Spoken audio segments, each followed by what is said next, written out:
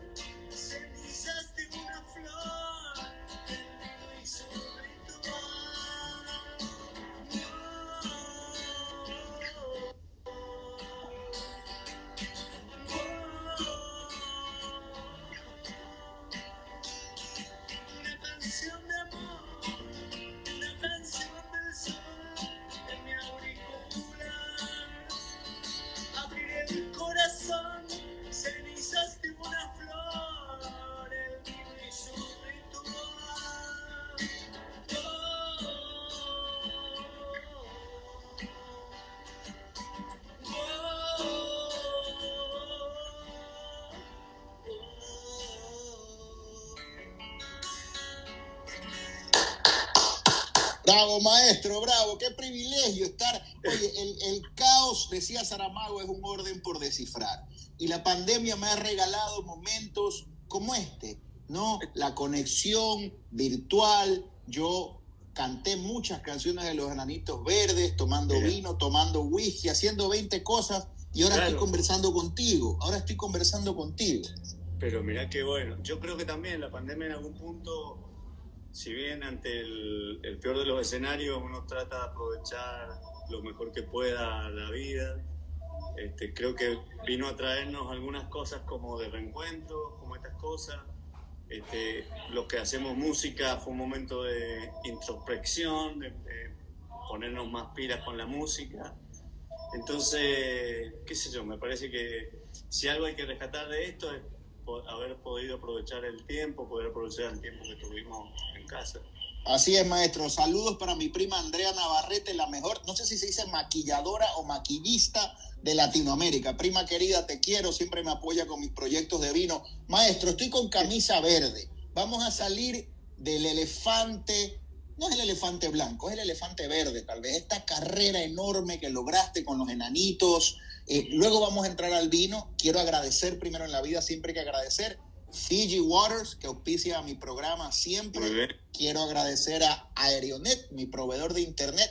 y por supuesto el protagonista de hoy, Luxo Wines, que trae los vinos de Felipe. Tenemos hoy tres vinos que vamos a probar de su proyecto en Mendoza. Tenemos el Euforia. Este es un vino que me parece 100% Malbec, maestro. Totalmente. El 100%. 100% Malbec.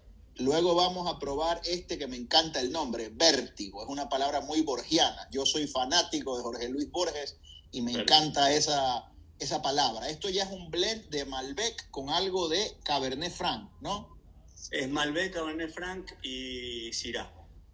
Muy bien. Y entonces luego vamos a algo que yo le digo el caldo de la calandriaca. El caldo de la calandriaca es ese tipo de vino que ya está más allá del bien y del mal, que es un vino de Dios, el honor. Esto es Malbec y Cap Franc, ¿no? Eso es Malbec y Cabernet Franc, exactamente. Muy bien, pero antes de entrar a eso, maestro, una pregunta que todo el mundo me hace. ¿Por qué se llama, y tú fuiste uno de los fundadores, los Enanitos Verdes? bueno, es una pregunta, imagínate la cantidad de veces que nos la han preguntado. Pero yendo a la historia en sí, es que cuando nosotros empezamos a tocar en, en Mendoza hay un lugar que se llama Puente del Inca, que está en el paso con Chile. Y en la época que empezamos a tocar, una familia de turistas se sacó una fotografía en ese lugar turístico. Y cuando la revelaron, aparecieron unas manchitas al que uno tenía una pintita de diablo más rojo, más anaranjado que verde, y atrás una filita así. Si lo googlean en internet, este, ponen fotos de los enanitos verdes y entre las fotos aparece esa. Eh, entonces, bueno, trascendió como que habían aparecido los extraterrestres, y un amigo nuestro que era corresponsal de una revista de Buenos Aires, se le ocurrió ponernos los enanitos verdes de Puente del Indio. qué, maravilla. y, entonces, y, entonces tú que fuiste uno de los fundadores, se juntan y era un momento de efervescencia, viste, hace poco salió un documental en Netflix del rock eh, latino, muy interesante. Eh, ustedes se juntan, forman el grupo. Yo empiezo a escucharlos, yo nací en Ecuador, en Guayaquil, yo empiezo a escucharlos ya con fuerza, por lo menos a nivel del hemisferio, en Latinoamérica, como para el 86, 87. ¿Tú recuerdas cuál fue ese primer álbum o esa primera canción que pegó durísimo? Y el álbum que pegó más duro, digamos, que nos hizo conocidos, te diría a nivel de América Latina y también en, en Argentina, fue Contra el Reloj, donde venía La Muralla. Donde venía, ah, La Muralla, un sueño de canción. Este, entonces ahí empezó, digamos, nuestra carrera artística profesional, digamos, 100% dedicados a la música y, empezamos a visitar países como Ecuador, y como, este, Colombia, Perú, México. Esos fueron tus primeros grandes foros para los enanitos, tú dirías el continente latinoamericano, obviamente. Totalmente, totalmente. Digamos, sacando la Argentina, sí. Bueno, y ahora una pregunta que también alguien me hizo por Facebook. Dicen, pregúntale a Felipe que tantos años de trayectoria exitosa, porque los enanitos, oye, lleva muchísimos años y siempre han, ¿Cuántos países has visitado, maestro? ¿En cuánto, ¿A cuántos países a, tu, presencia los ha galardonado? Bueno, imagínate que toda la habla hispana eh, del mundo la hemos este, visitado. Habla habla hispana del mundo, incluyendo los Estados Unidos, la habla hispana de los Estados Unidos. Hemos tocado en todos los estados y todos los países de América Latina, España. Así que donde no hemos ido, salvo Italia, que hemos tenido visitas esporádicas en Milán, Turín, este, Roma, que obviamente no hablan español, pero hemos tenido ahí también actuaciones. Pero hemos visitado toda esa enorme cantidad de países y los Estados Unidos, que es un vasto país, como que son varios países en uno, ¿viste? Me encanta que se está conectando todo el mundo. Se, se conectó la mujer que me trajo al mundo, mi madre. Un beso a mi mamá. Veo que dice, aquí gente está de Chile, de Costa Rica, de Ecuador, saludándote, maestro. Tú eres oriundo de Mendoza, ¿correcto? Yo nací en Mendoza, sí, sí. Nací en Mendoza y de familia italiana por parte de mi padre, mi padre y, y bueno, con lazos muy fuertes con Italia capital del vino. Y ahí ahora quiero pivotear y con eso entrar al vino. O sea que todo el mundo tiene tal vez un primer amor, ¿no? Eh, yo te escuchaba a ti en una entrevista que diste, porque yo me preparo para mis entrevistas y me gustó algo mucho que comentaste que al igual que el vino, la música es mejor cuando se comparte, cuando escuchas una canción con un amigo, cuando escuchas una canción con un grupo, igual que un vino, tomarse un vino solo ya estás bordeando un poco el alcoholismo, ¿no? Te, la quieres tomar con unos amigos, ¿no? No hay nada de malo, los que tomen vino solo, no hay nada de malo, pero cuando lo hablas con un amigo, yo tengo un amigo en Rioja que dice que los vinos no se abren, se hablan, muy lindo. Eh, entonces quiero preguntarte, ¿no? Yo, por ejemplo, tuve ese primer amor del vino, que fue un vino del priorato, tal vez para ti llegó mucho más temprano, yo tengo 44 años, me enamoré del vino como a los 27. Eh, creciendo en Mendoza, ¿recuerdas de joven en tu casa tomar vino, tus viejos, tus tíos? ¿Cómo fue ese primer contacto con el vino? Y nacer en Mendoza es nacer en un Disneylandia del vino en algún punto, porque tenés el acceso muy a la mano. Es como eh, en tu infancia visitaste alguna bodega o alguna, algún viñedo, visitaste algún lugar siempre relacionado con el vino, en, las casas de familia, la bebida del mediodía, del almuerzo, la botella de vino, siempre. Entonces, es un, es un gran disparador de recuerdo familiar en un punto el vino, y de unión, y de, de cosa eh, de compartir nuevamente estamos hablando, ¿no? Yo obviamente cuando era chico no tomaba ni nada, pero veía a mis padres, a mi mamá, que servían el vino en el almuerzo, en la cena, es como algo sagrado, ¿viste? ¿Recuerdas ese primer vino que te tomaste que tú dijiste, carajo, aquí hay algo más que jugo de uva fermentado? Ese, ese primer vino unicornio, ese primer vino parteaguas para ti. Para mí el vino, el, obviamente en ese, en ese momento de mi adolescencia y todo eso, no se hablaba de varietales en Mendoza. Mendoza tenía un gran potencial de vino que no se lo explotaba. El vino era...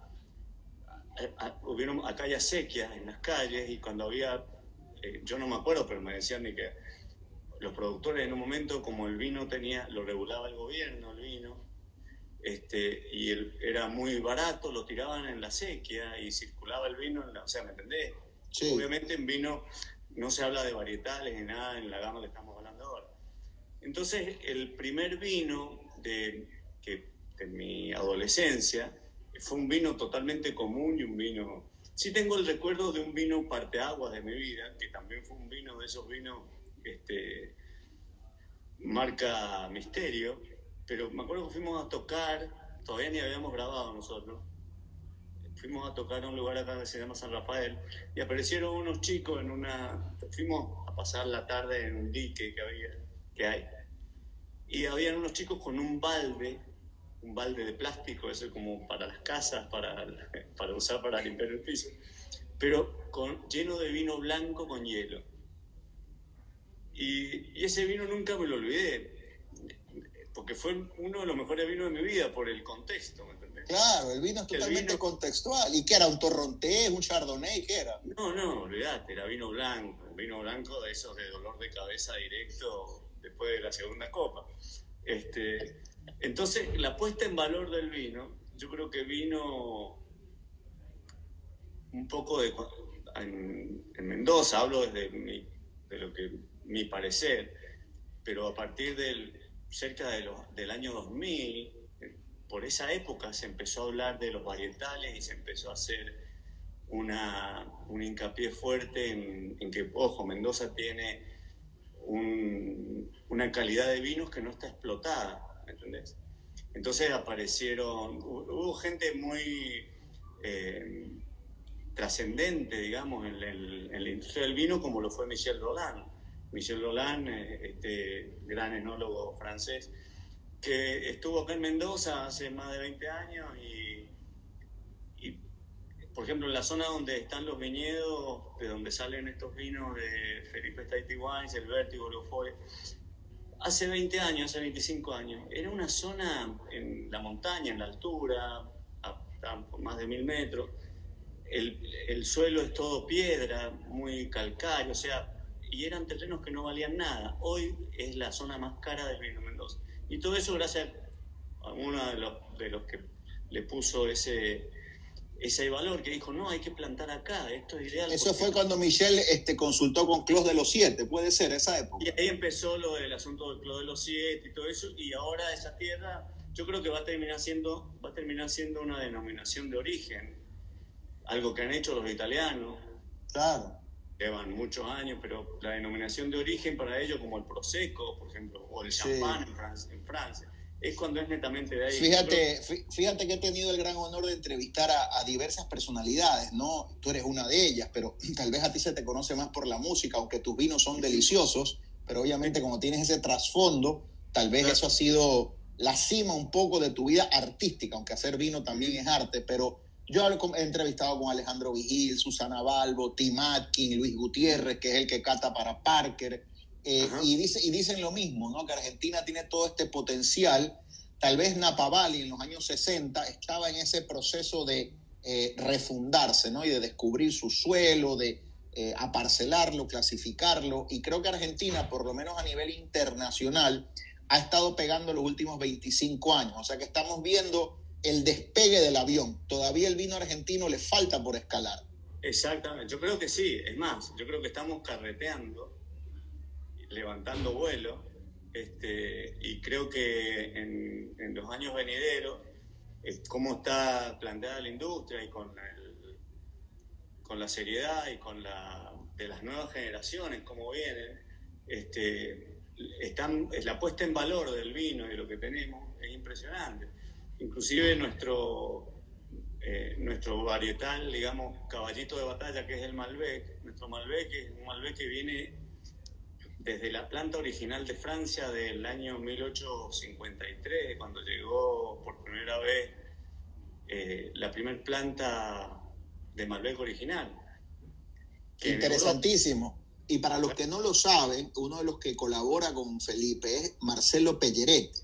O sea, Marcelo Pelleretti es como decir Lionel Messi, es como decir, o sea, un grande, o sea, un enólogo brillante, un genio que hace vinos en Burdeos, que ha sacado eh, vinos de 100 puntos, haciéndolos en Burdeos, o sea, un genio. Lo que vamos a probar ahora son maravillas. Maestro, antes de probar los vinos, ¿tú supiste que querías tener algún tipo de inversión o negocio del vino mientras estabas en la banda cantando en el éxito, en la cima del mundo, aviones, hoteles, chicas, dinero, ya tu vida estaba resuelto con... Bueno, tengo que decirlo. Motley Crue, no, sí, sí. Motley Crue, hermano, pues, o sea, estoy hablando con... No, no me digas que no, carajo. Bueno, cuando el mundo, cuando el mundo era tu ostra, tú tenías esa curiosidad y decías, porque eres de Mendoza y un poco regresar a tu tierra, ¿no? Y en Mendoza se dan unos vinos espectaculares. ¿Tenías esa cosquilla, tenías ese ratoncito moviéndose en la cabeza? Yo creo que siempre eh, yo soy un tipo muy inquieto, que no me puedo quedar quieto, la verdad. Y obviamente siempre el motor de mi vida ha sido la música y todo lo que ha sucedido alrededor de mi vida ha tenido esa, ese factor primario que es la música, ¿no? Entonces, el vino llega a mí a través de la música justamente, porque de esa manera lo conozco a Marcelo y lo...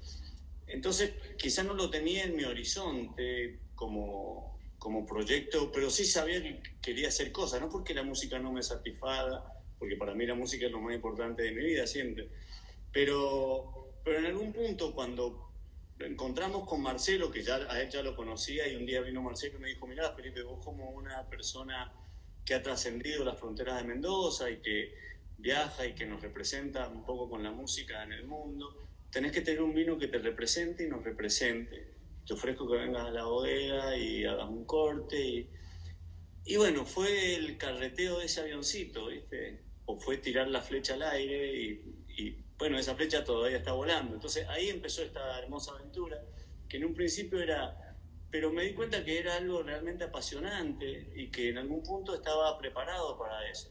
Y a tal punto que empezamos en el 2013, 2012, 2013, y hoy te puedo decir que tenemos una empresita familiar donde están involucrados. Pero yo pensé que, pensé que tenías más tiempo, Felipe. Has sacado las puntuaciones más altas en poco tiempo. Y eso me dice, ahí está Miguelón, mi querido amigo, amigo Miguel, un gran bloguero, lo reconozco, de Chile, ahí vecino cerquita tuyo. Eh, obviamente tienes muy buena fruta, obra prima, tienes un genio de enólogo y tienes visión, o sea, un hombre que ha conquistado el mundo con el arte. Me parece que el vino y la música se parecen en muchas cosas. Eh, viajando tanto, maestro, que estuviste expuesto a los grandes vinos de Europa, que has tocado por allá, tú, tú tal vez cuando viajabas tenías una preferencia, decías, me gusta más este vino, me gusta más esta uva, tú eres más, por ejemplo, tú eres más de Cabernet o más de Pinot Noir, eres más de Sangiovese o más de Tempranillo. Cuando viajabas, ¿qué te gustaba? ¿Qué tomabas? Yo, mira, la verdad, siempre me gustó mucho el vino francés. Este, he tenido siempre esa preferencia. Quizás por eso también me enganché tanto con Marcelo, que tiene un, un, estilo netamente francés a la hora de hacer el vino. De hecho, las nuestras son francesas. Fue la madre de todo el vino y, y, la clásica en algún punto, por decirlo de alguna manera. Me gusta la clásica, me gusta el vino que tenga un poco de madera, me gusta la cosa. Soy un clásico en ese sentido. Entonces, este en los viajes he probado muchas cosas, probé en Apaval, he probado en México y en el Valle de Guadalupe, y, inclusive antes de empezar a hacer vino, siempre tenía un vino a mano y de, probar y todo eso, pero lo probaba desde otro lado, lo probaba desde, desde un lugar como, como un ciego que no puede mirar el mar, que simplemente lo percibe, que no es malo, es bueno qué belleza, qué belleza eso que acabas de decir. Pero cuando lo ves, te das cuenta de la inmensidad. Entonces, en un punto, ese ciego que estaba probando esos vinos antes de meterme al mundo del vino de lleno y de conocer poco más el, desde adentro cómo funciona la cosa y, y, y, ordenar el paladar, porque en realidad el paladar tenemos todo el asunto de ordenarlo y saber diferenciar, ahí pude ver la inmensidad de ese mar que es el vino, entonces, este, ahora no digo que soy selectivo, porque en el fondo siempre digo que el vino, cuando es compartido, es dos veces recordado, porque uno, el vino por ahí no puede estar tan bueno, pero cuando el, momento es bueno, el vino pasa a un... Lamentablemente no hay ningún aditivo que le ponga eso.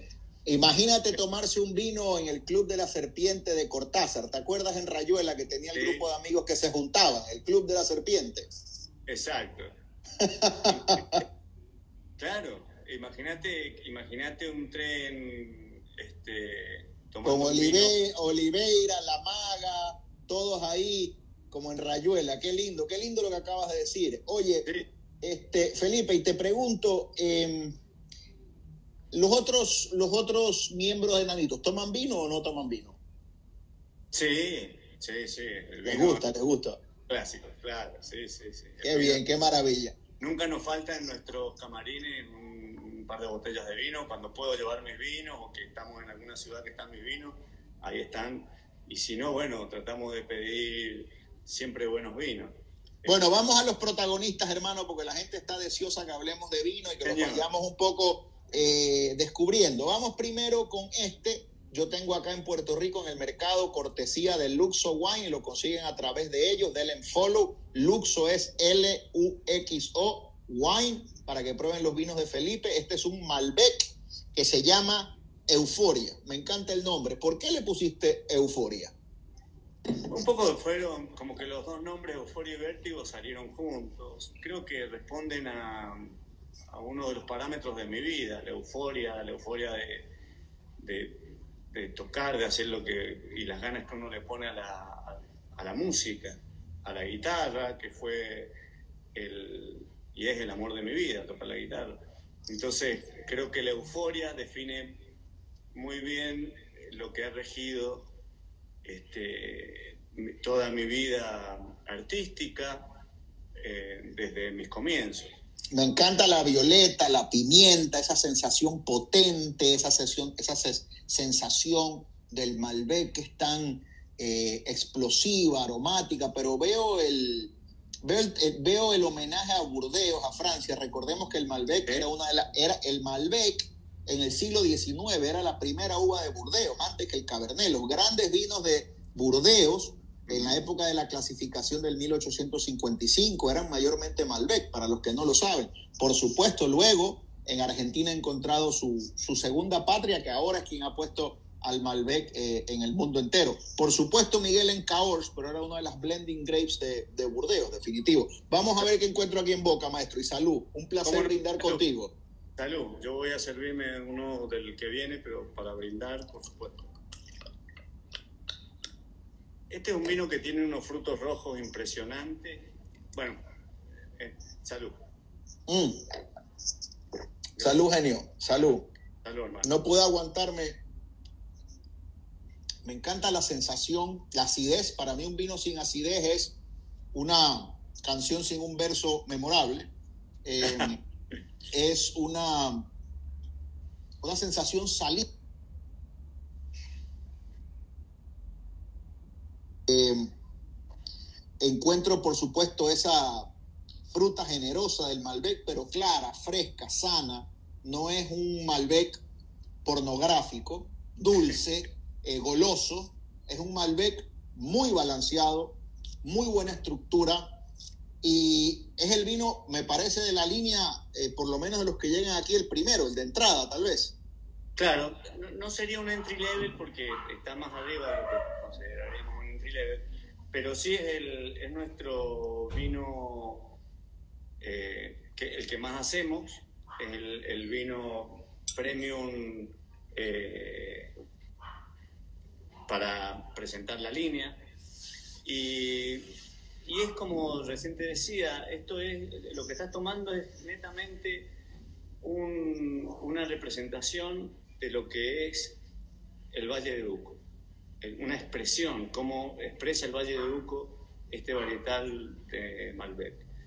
Entonces es un vino, este, como bien vos decías, que tiene mucho cuerpo en boca, es entero, tiene sus taninos, acidez no es, es una acidez también balanceada.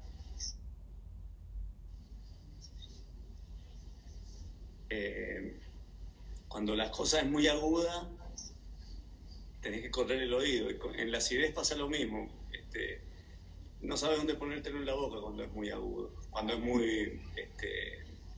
Yo, yo siempre uso una, una analogía y creo que nunca entró mejor en una frase, pero algunos vinos para mí son como la cuerda de una guitarra, perfectamente tensos, ¿no? En el sentido de que hay equilibrio, no hay nada desproporcionado, no hay nada fuera de cauce, nada fuera de carril. Aquí hay tres elementos para mí fundamentales.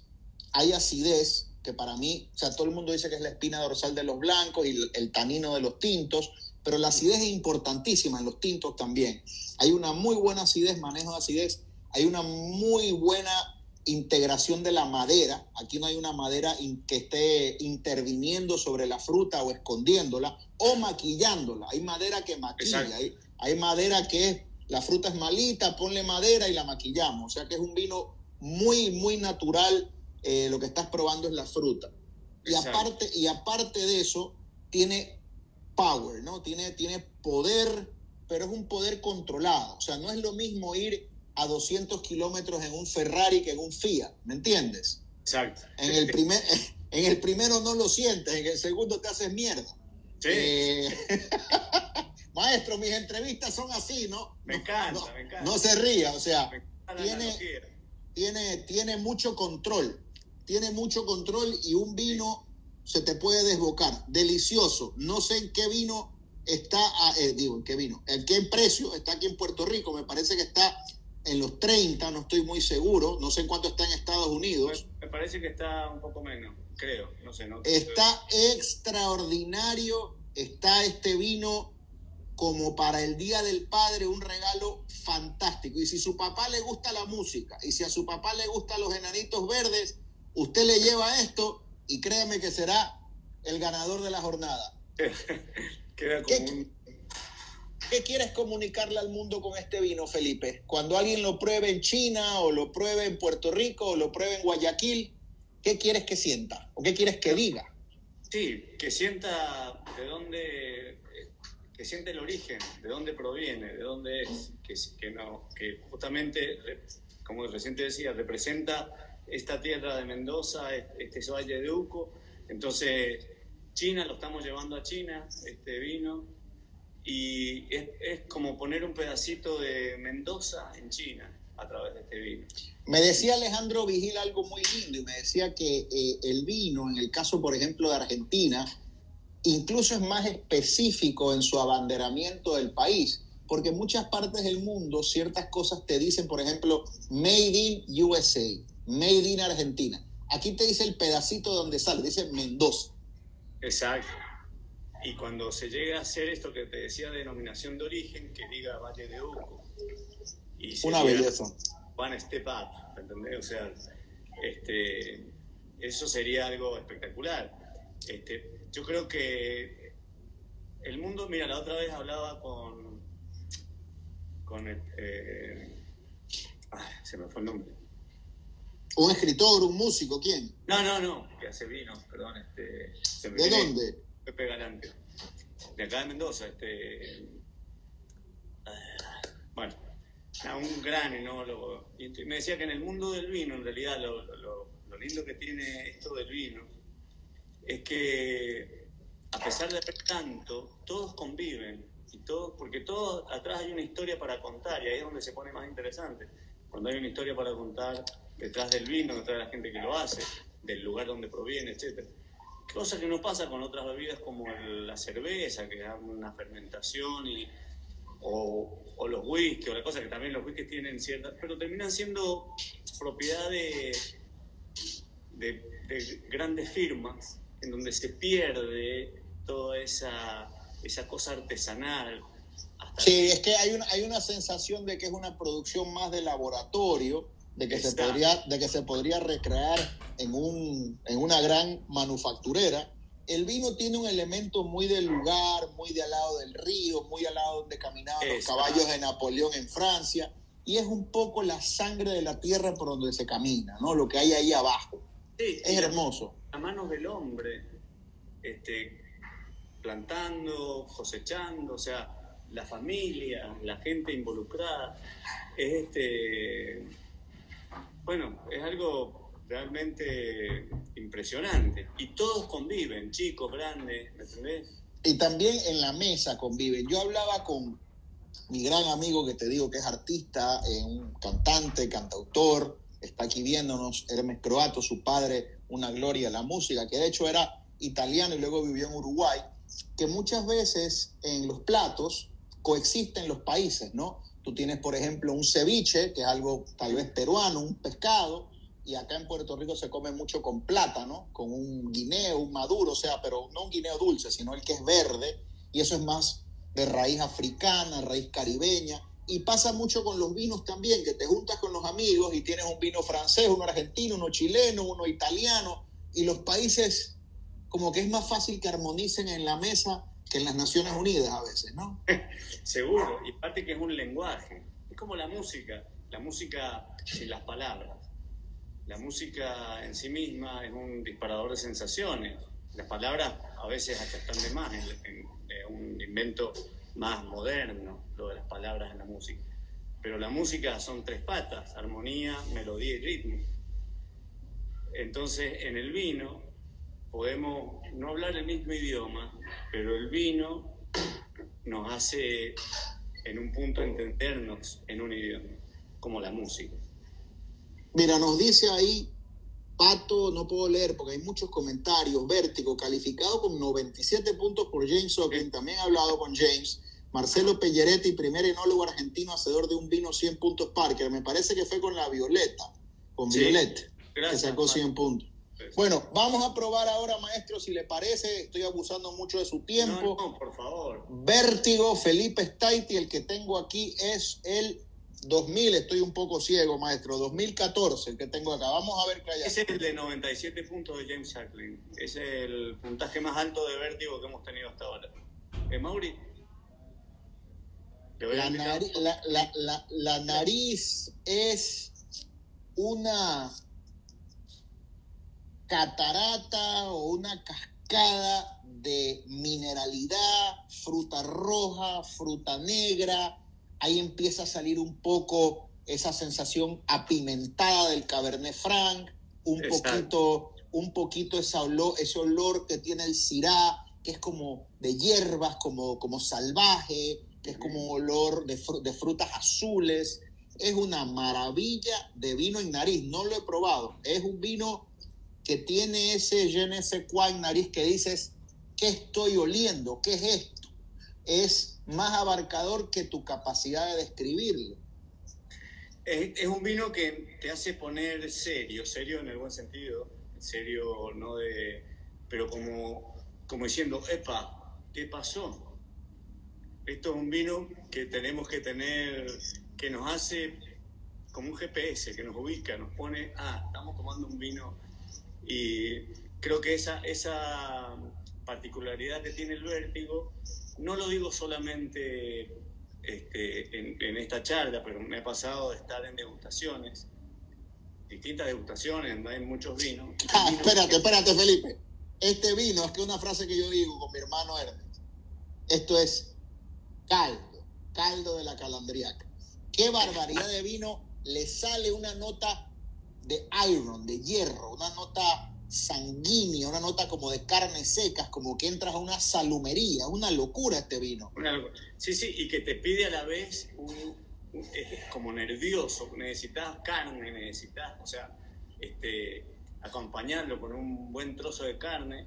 Este, este vino, este vino eh, eh, eh, a los amigos del Luxo que me están leyendo me separan media caja. Para el Día del Padre me lo voy a autorregalar en un acto en un acto egoísta y a la vez de homenaje a mi querido maestro Felipe Staite. Qué, qué maravilla de vino. Y es un vino, y es un vino que tiene algo que para mí es fundamental, el alcohol controlado. El, alcohol está no te invade. no te invade para nada. Y tiene, aquí me dice 15%. Está totalmente en control. Yo creo que gran parte de esto, este vino está micro vinificado y también está eh, fermentado, las, los varietales están fermentados juntos. El Syrah con el Malbec está cofermentado.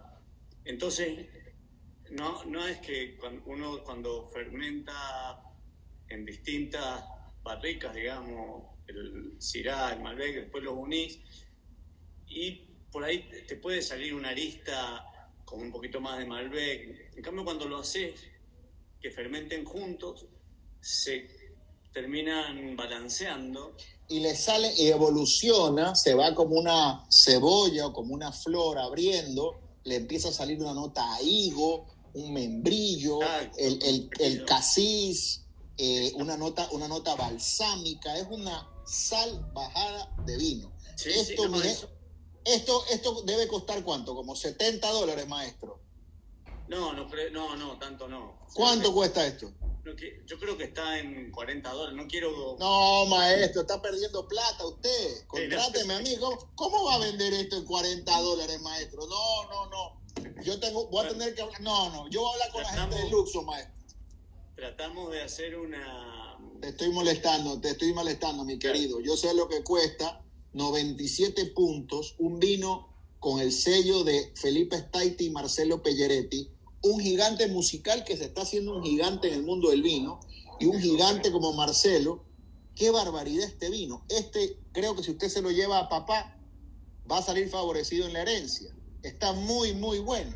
Ahí nos dice, mira, está en 35 a 38. 35 a 38 dólares. Yo me, me atrevo a decir y mire que yo pruebo mucho vino todo el año, es el mejor vino por debajo de los 40 dólares que he probado en este año. Este de aquí. Felipe está Vértigo. Bueno, James Sacklin también sacó una, uno de esos listados de James Sacklin de los mejores vinos de menos de 50 dólares del mundo. Y entre 100, nosotros éramos el 25. No hay nada, y te felicito por eso, Felipe, no hay nada aquí que esté fuera de lugar. Es como Tú recuerdas, debes recordarlo, pero has tocado tantos escenarios del mundo, pero algún lugar donde tú fuiste a tocar, mira, están preguntando en Puerto Rico dónde se consigue, con Luxo Wine, tienen que buscarlo familia, algún escenario, alguno de estos coliseos, alguno de estos aforos donde fuiste a tocar, que tú dijiste todo está en orden, la acústica, el sonido, las gradas, las luces, que para ti ese escenario ideal. ¿Cuál fue? El escenario ideal, este, por excelencia, creo que fue el Radio City de Nueva York. Bueno, este es como el Radio City en el Radio City del vino. Está todo en su lugar, todo, en armonía. Está todo en su lugar. Buenas butacas, este, buen cortinado. Este, está, es un lugar totalmente amable. Maravilloso, maravilloso vino. Eh, antes de entrar al último vino, maestro, no, me, matan si, si, si no te pregunto. Este, ¿Recuerdas giras que hiciste por acá, por Puerto Rico, que has venido a tocar con los enanitos? ¿Qué recuerdas del público de acá? ¿Qué recuerdas de la comida? Me imagino que por la fama que tuvieron aquí has venido cinco, seis, siete veces a Puerto Rico. he ido muchísimas veces y siempre que tengo oportunidad me quedo unos días en Puerto Rico a disfrutar de esas playas hermosas y sobre todo la hospitalidad divina de la gente.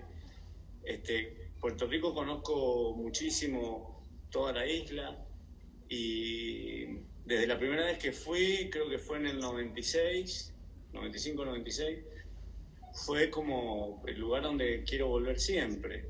Pero venga, maestro, cuando pase la pandemia usted ya debe estar vacunado. Venga a verme, maestro. No, claro, yo quiero ir, por supuesto. Inclusive estuve el año pasado, o el anteaño. El anterior y me invitaron. Estuviste en The House, me mandaron la presentación me mandaron el póster ahí, el, el, afiche, y yo había leído de los vinos, pero por algo de esas cosas de la vida no pude ir, maestro. Bueno, otra pregunta que te voy a hacer divertida. Si a tu casa se mete un ladrón, pero es un ladrón amable, no es un ladrón que te va a hacer daño, es un ladrón que le gusta el vino y lo que quiere es robarte tus vinos. ¿Ok? No te va a robar tus premios de la música, no te va a robar tu ropa. Es un ladrón que solo roba vino. Entonces él va a tu cava, pero ese ladrón ya tiene toda tu colección. Él va a buscar lo que tú compras, que es el vino que tú no haces. ¿Qué encontraría ese ladrón en tu cava, en tu bodega? ¿Qué hay ahí que no sean tus vinos? ¿Qué toma Felipe Staiti cuando no bebe sus vinos? Bueno, tengo Syrah, tengo Syrah, yo soy un amante del Syrah, que es un vino el, quizás el menos comercial del mundo del vino, pero es uno de los vinos que a mí más me gusta que no sé, tengo una cierta, eh, como un enamoramiento con el Syrah, por eso este vértigo tiene Syrah. ¿Syrah, argentino o francés o, australiano? No, y el, el Syrah del Líbano es algo espectacular. ¿De dónde? Del Líbano. Del Líbano, mira tú. Claro, el Syrah, el, el es de, de, esta región, de por allá de Armenia. De la Mesopotamia. Sí, sí es fantástico. Ahí tengo un par de botellas de esa de Syrah. Este, ¿Qué más? ¿Qué más encuentra este ladrón eh, Bueno, va a encontrar eh, vino de Napa Valley. Eh, Cabernet, Texas, Cabernet, Texas hace vino, claro. Sí, tiene el, ¿cómo se llamaba? Wine Country. Sí. Que está muy ricos vinos. Y vinos franceses, la verdad, muchos vinos franceses. ¿Borgoña o Burdeos? Y algunos vinos italianos como el, Montalcino y, y eh, Malpolitano. ¿cómo eh, Valpolicella, claro, los, los ripazos, los amarones. Los, los, bruneros de Montalcino son una maravilla. bueno, vamos, vamos, maestro, a llegar al honor tenemos este último vino, fíjense que la botella aquí ya es más aborgoñada, es una botella pipona, no es una botella de hombros arriba, sino de hombros abajo. Vamos a hablar un poco qué usted, maestro, pretende eh, hacer con este vino que no hace con los otros. ¿Por qué se llama honor y por qué el cambio en la botella? Cuénteme de este vino. Bueno, ese vino en realidad es una parcela muy especial, siempre es una producción de 2.500, 3.000 botellas. Este, es una parcela dedicada solamente a honor, en el, ahí en el Club de los Siete.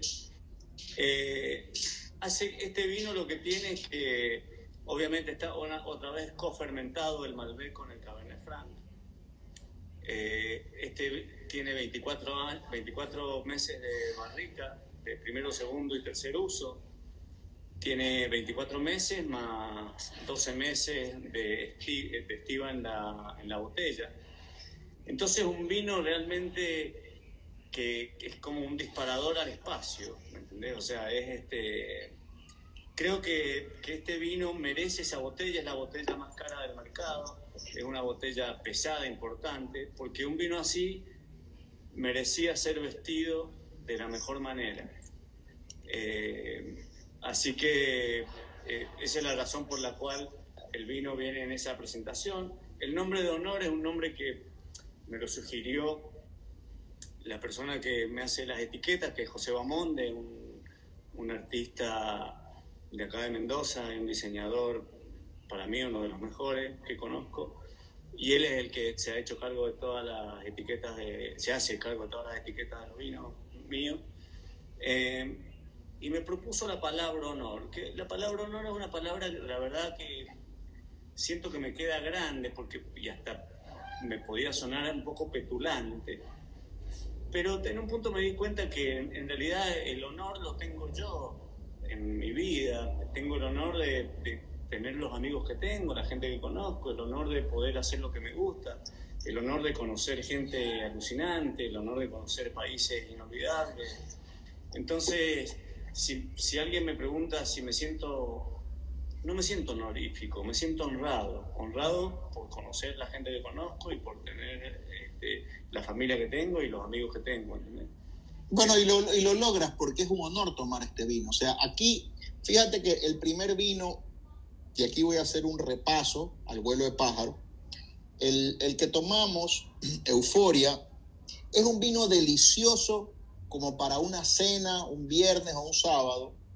El, te diría que este vino es un vino de, de coleccionista, o sea, este es un vino para tenerlo en la cava y es un vino que puedes, puedes pararlo al lado de cualquier blend de Napa, al lado de cualquier gran blend del mundo. Pero este último vino me ha, me ha dado me da una sensación muy intelectual, ¿no? Es un poco para agradecer lo que es capaz de darnos la Pachamama, ¿no? Lo que es capaz de darnos la Tierra, el planeta. Eh, es inmenso en su elegancia, porque está el poder, está la fruta negra, está la fruta roja, está esa pimienta, esas aristas, esa espina dorsal que provee el Cabernet Franc, y el Malbec aquí, con el tratamiento de barrica, me imagino que es una barrica nueva, de segundo uso máximo, primer uso, segundo uso, le da esa sensación untuosa, cremosa, le da esa nota de cacao fino, le da esa nota tostada, ese poquito como de coco. Acá en Puerto Rico se come mucho con coco, vainilla. Es una, es una maravilla el honor una maravilla. Es caldo de la calandría, Carmen. Te voy a llevar esto a tu casa para que lo pruebes. 98 puntos James Sockley. Sí, aparte viene una presentación en una caja de madera, este, hermosa. Y la verdad que es un vino para mantenerlo digo, todos estos vinos están en una escala ascendente en este momento. Vinos que en 20 años van a estar evolucionados para mejor siempre. tiene, tiene hierbas y tiene un olor que también muy poco, no es que sea difícil describirlo, pero yo creo que es interesante descubrirlo. Describir y descubrir son dos cosas distintas, ¿no? El describir parte de la premisa que estás parado en el púlpito explicando, el descubrir es lo bello de la vida. Decía un gran inventor norteamericano que solo Dios inventa y que el ser humano descubre. Este es un vino para descubrirlo, es un vino para descubrirlo. Muy bueno, muy bueno. Es, una maravilla de vino, estoy, eh, estoy honrado de tomarlo. maestro, maestro, ¿quiénes han sido sus influencias musicales? ¿Quiénes han, para ir cerrando antes el sorteo, porque hoy va a haber un sorteo, influencias musicales y luego le voy a preguntar por influencias del mundo del vino? Bueno, yo creo que la influencia musical este, número uno fue mi mamá en mi casa que tocaba el Qué belleza, qué belleza, qué belleza esa contestación. Tú que has, tú que seguramente estuviste con Cerati, estuviste con todo el mundo, tu influencia fue tu, tu madre. Claro, que, que digamos que sin meterme a mí la idea de la música, yo entendí que había un lenguaje y había algo que estaba sucediendo de lo cual yo quería ser parte. Mi mamá y mi hermana tocaban el piano, mi mamá era profesora, no ejercía, pero tocaba siempre el piano. Y, y ahí fue mi, mi, mi, gran influencia con la música. Me acuerdo de chico íbamos acá a una bodega, la bodega Arizu, donde hacían conciertos de música clásica. Siempre era el plan de los domingos, de los sábados, ir a ver un concierto de música clásica o al Teatro Independencia, aquí el teatro más importante que tiene la ciudad. Así que la música me, me empezó a pegar por ese lado hasta que descubrí el rock. Espérate, hermano, espérate, que esto, esta es la función primordial. Carrasquillo Mac nos pregunta dónde venden estos vinos y yo quisiera, mi meta es que la mayor cantidad de gente que me sigue los pruebe. Los consiguen en Pueblo, en The House y con Luxo Wine. Sígueme contando, maestro. Ibas a Arizu, ahí tocaban música clásica. ¿Y el Ahí rock cuándo, cuándo te muerde? ¿Cuándo te muerde ese cocodrilo? Bueno, me muerde el, el primer cocodrilo de dientes sin afilar fue la guitarra acústica y el folk, un poco como grupos argentinos como Sui Generis, un poco Spinetta, un gran, pero bueno, gente, viste, impresionante que hacían para mí la una cosa impresionante. Hasta que escuché Deep Purple. Entonces ahí dije, ah, no, esto es algo serio. Escuché Richie Blackmore, escuché, yo tocaba la guitarra y dije, ah, no, esto es... Entonces ahí dije, yo quiero hacer eso, quiero, digamos, quiero hacer mi vida con la guitarra eléctrica, quiero que la guitarra realmente me, me convenció eso. Y un- un- una, una cosa muy linda que pasó en, acá en una escuela, 21 de septiembre, yo tendría 15 años, tocaba con otro compañero de la escuela, mayor, que otro curso, tocábamos canciones acústicas. Ahí está Ale Vigil Malbec. Déjame saludar al maestro también, Eh. Alejandro. Ale, querido, salud, Ale. El genio. Salud. Bueno, hermano. salud hermano, qué Honor. bueno verte por acá, Ale, un honor. Estamos tomando unos calditos de la calandría cabello. Estábamos hablando del honor y que le debo a, a Lale esa vertical que se la voy a hacer, un- que una vez me pidió, tener una vertical de los vinos míos. Bueno, entonces en ese colegio tocábamos un 21 de septiembre con este amigo mío y, y yo veía como que la guitarra eléctrica y todo eso era como material o era patrimonio de los extranjeros. Digo extranjeros, ingleses y americanos, que no, no he escuchado que alguien tocara de esa manera aquí en la Argentina, en Mendoza menos. Pero entonces estábamos, fuimos a probar a la tarde, ¿viste? Con la guitarra acústica, tocando en mi cuarto canciones de vivencia, de su género. Y de repente terminábamos, qué sé yo, y de un, uno del- de los cursos, ¿viste? De las aulas, salía una música que era como del infierno, estaban tocando Lazy de impacto.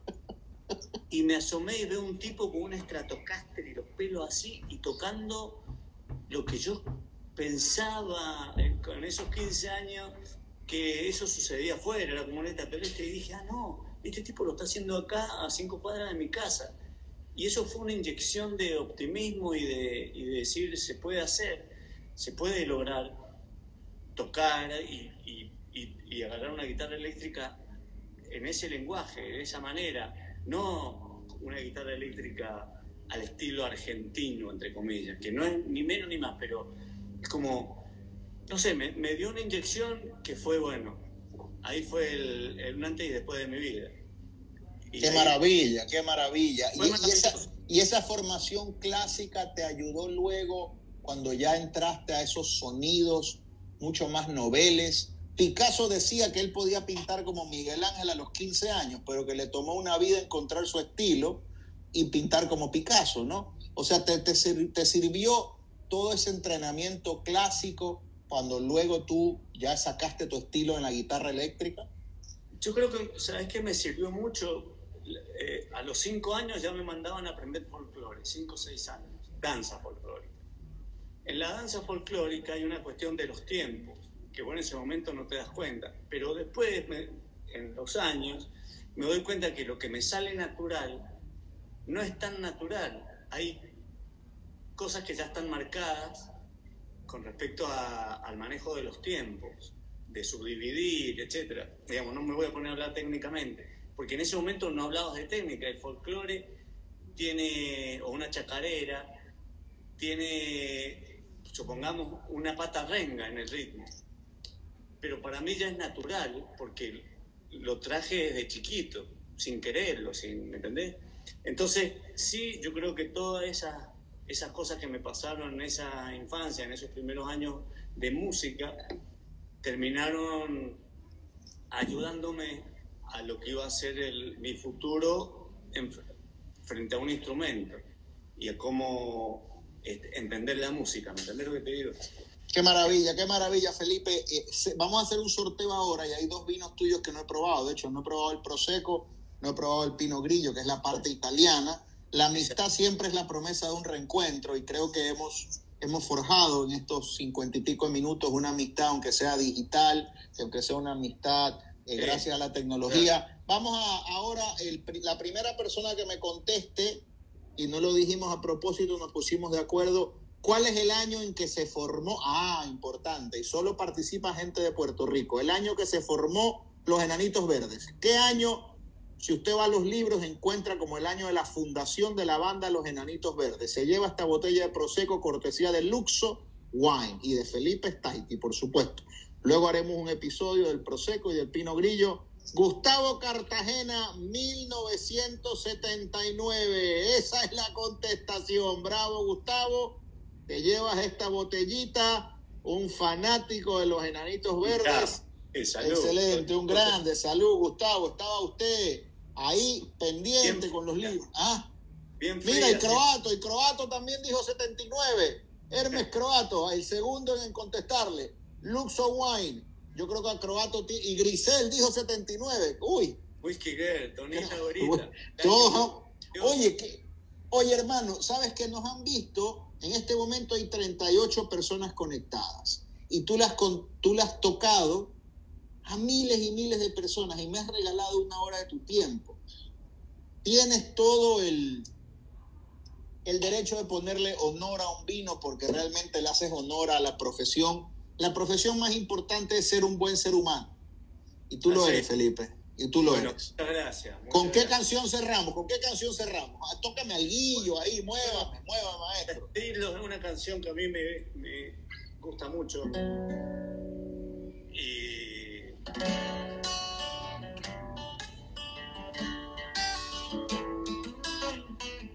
y sobre todo en estos tiempos de pandemia que a veces nos quedamos cortos en las palabras y no le decimos a esa persona cuánto la queremos o cuánto la necesitamos. Y son como esas mariposas que dejamos escapar. Por ahí se van y nunca más las vemos. Para ellos.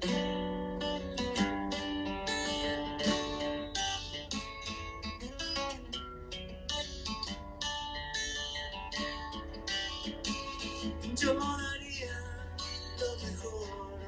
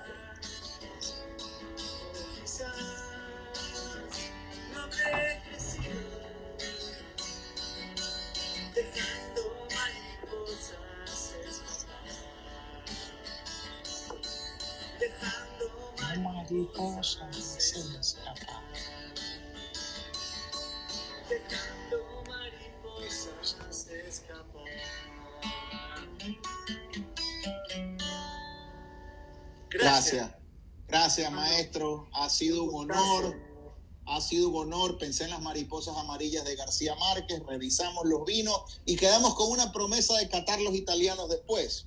Por favor. Probamos hoy esta belleza de vino, está más o menos en los 24 a 26 dólares. Este es el Euforia Felipe Staiti Malbec. Esto iría con unas chuletas cancán aquí en Puerto Rico, con un churrasco. Esto iría bien hasta con unas morcillas. Luego probamos este vino que me dejó idiotizado y que Alejandro Vigil, que es, no es Lionel Messi, es Maradona, la pelota no se mancha del vino, dijo que le encantaban estos vinos. Esto es una salvajada. Este es el vértigo. Este vino sacó 97 puntos y me dicen que está como en 35 dólares. Yo ahora voy a, voy a hablar con Felipe porque está demasiado económico. Y el último vino que hemos tomado es un vino que, viste que cuando estás ante la presencia de los grandes, como que te toca procesarlo. Yo me imagino la primera persona que vio a Bob Dylan cantar, o la primera persona que vio a Lee pelear, o la primera persona que, qué sé yo, que vio a Neruda recitar, se quedó como, por eso no te lo he podido describir. Este vino es una maravilla que rebasa las palabras y que tal vez cuando hagamos la segunda entrevista te lo contaré. Gracias, maestro. Me encanta. Gracias por todo, gracias por tu sencillez, por tu tiempo y porque un día dijiste, tal vez en un avión, tal vez en un escenario, debo hacer vino. Por eso somos mejores. Un abrazo, hermano. Abrazo y un abrazo a toda la gente de Puerto Rico y a toda la gente que está conectada de todos los lugares que nos han visitado. Que estés para siempre en la tierra, hermano. Chao. Igual. Chao.